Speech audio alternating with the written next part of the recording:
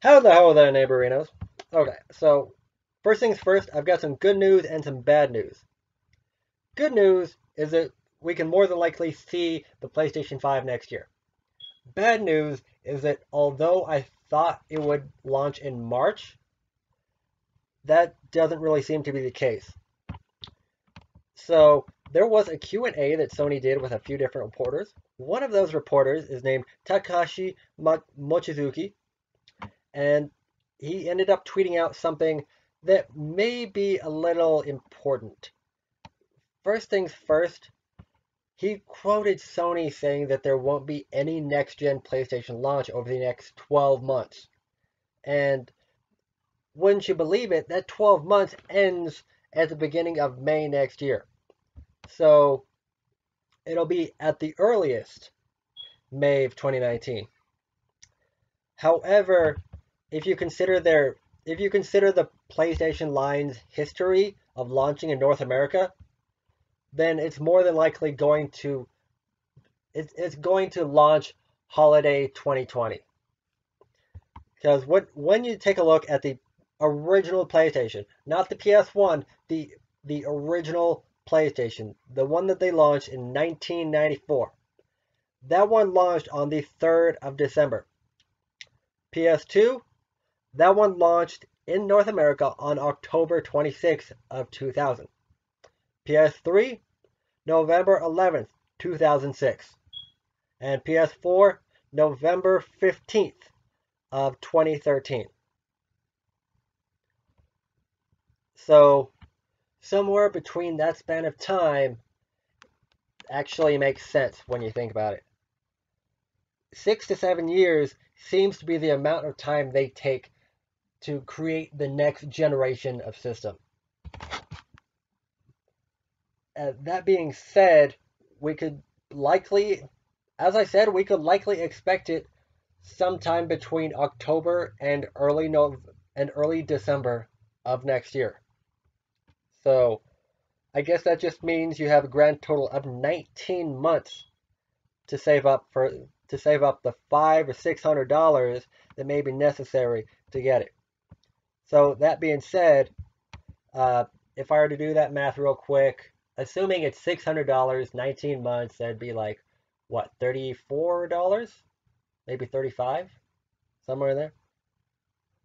It, it's probably 30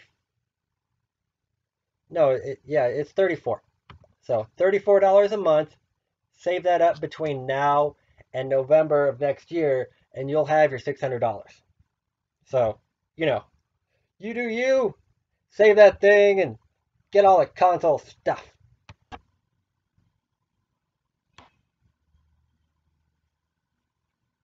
The next piece of news is something that I am considerably excited about. There were a few neat games. Well, not just neat, but like cool. There were a couple cool games that released this week, but a few, a couple of them rank a little bit higher on my list than the others. The first two, as I'm sure you could probably guess, are Orbus VR Reborn. This one is a an online VR MMO RPG complete with all the, the PvP and the mining and the skills and the the dungeons and the you know all, all the stuff for that it, it's really hard for me to express exactly what it is I like about this but you can you can just take a look in the link you can find down below as well as in the trailer that's also going to be on that page you can check out everything you need to know about that game in the in the description down below. So, yeah. This one is going to be for, available for $40. It released on it released this last on the 3rd. Released for $40 and it's available on the Vive and the Rift and Windows Mixed Reality. Or No, just just the Vive and the Rift. $40 Orbus VR Reborn, and you can find it on the Steam store, no less.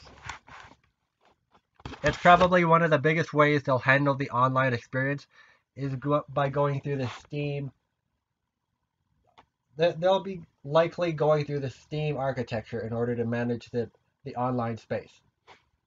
That's the easiest way to do it, I think. Uh, the next one that I actually am considering is called Fantasy Smith.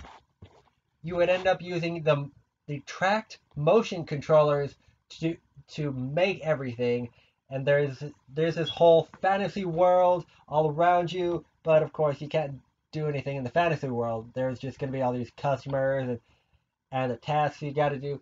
But you still gotta you still gotta use the motion controllers to make all the weapons and armor and stuff that you're gonna make. The other ones that came out this week are a little less impressive than Fantasy Smith, then ca- that came out also on Tuesday for $13 for the Vive. Those ones that are less impressive include Home Plate Baseball, which you can find for $5 available on the Rift, Vive, and WMD. Came out on Wednesday. However, the trailer does not really suggest that it is really engaging as far as a sports title goes. I was hoping that that we would get something more like MLB or something. But no. You you don't really see any of that immersive element with it. You know what I mean? You don't really feel like you're playing a game of baseball when you when you play home plate. But you know, if if it's it's only five bucks. If you want to try it out, be my guest. The other ones include Icarus Prima Regala and Montecube Dodge. Both of them both of them came out on Monday and they are there one is available for the Vive, the other for the Rift, and they are $5 or less. And judging by the trailers, that's about how much they're worth. Maybe even less. But, you know, it's. I'm. It's really hard for me to get excited about these. Because they, they don't. They. Even if they are frantic or mobile or anything along those lines, it doesn't really seem like there's anything to keep you hooked. And I don't know about you, but I enjoy being hooked on my VR games.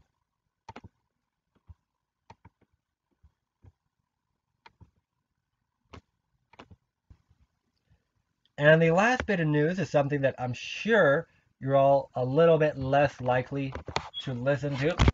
It's all about a Forbes article that tries to complain about VR and how it's a waste of time and money and energy and how there's no future in it.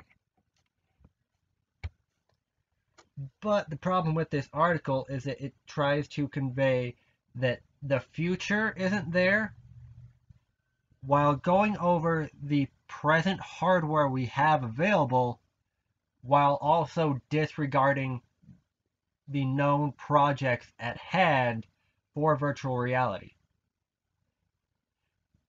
That being in in this article, they completely disregard the Quest, the Rift 2, which they're which Oculus is likely at least considering the prospect of at this point. In, in addition to the Vive Focus Plus or the PlayStation VR 2 or any other known projects that are going on right now. So as far as that goes, this the way I see it, this article is it it's a mockery. That's all I can really say. But maybe I'm a little biased because I'm actually engaged with with VR as a market and I want to see it grow and continue. So I think this is a good place to end the video. If you guys liked it, let me know. If you hated it, let me know. And as always, don't forget to tell me how I'm a horrible human being for giving you all this news. Ta-ta for now.